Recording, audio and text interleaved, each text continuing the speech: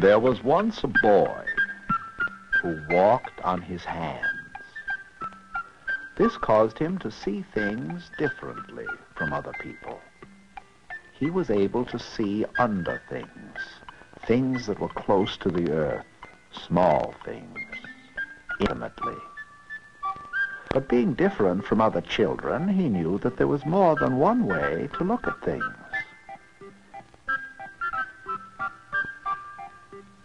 He didn't mind at all being different. His life was one adventure after the other. He had a wonderful time examining things, finding out how they were made and how they worked. And though many people who crossed his path were harassed and frowning, from his point of view, they appeared to be smiling, and this made him very happy. But he made people uncomfortable. They thought it was somehow wrong that the boy should not see things their way, the right way. They decided that he should be straightened out. They held a town meeting to determine what could be done. They called in experts. The doctor said, a rare case of deficiency of hypertension and heart palpitation lungs peculiarly unclouded, digestive system non-acid. It's obvious this young man is deprived of the manifold tastes, colors, shapes, and effects of the assorted patent medicines available and so widely enjoyed by our population.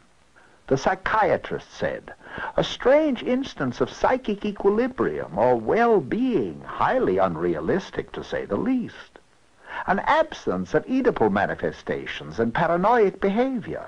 Obviously, his hate instincts have been suppressed.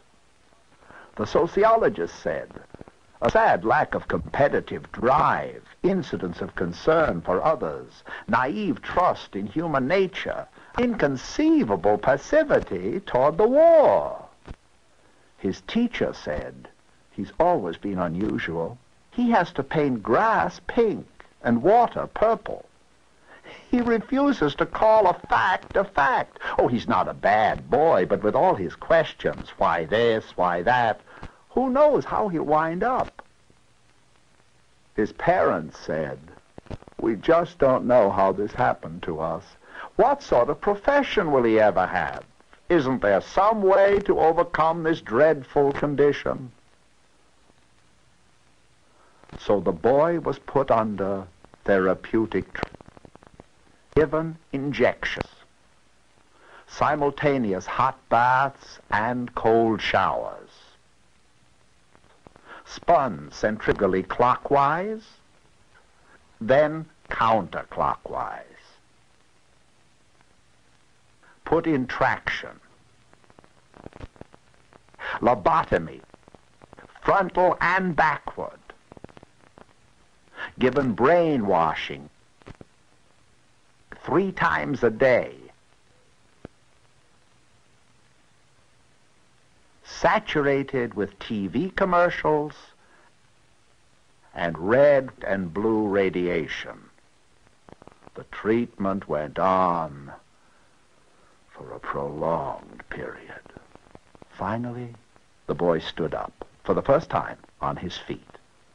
What he saw frightened him because he found that the opposite view of love was hate, beauty was ugliness, individuality was conformity, plenty was poverty, understanding was prejudice, cooperation was competition, depth was superficiality, concern was indifference, Truth was lies, joy was despair, and peace was war.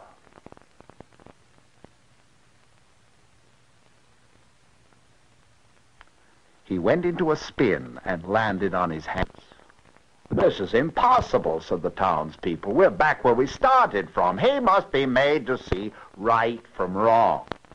But the boy in spite of all the back to health conditioning, was adamant. He said, if you want me to stand on my feet, you will have to make some big changes first.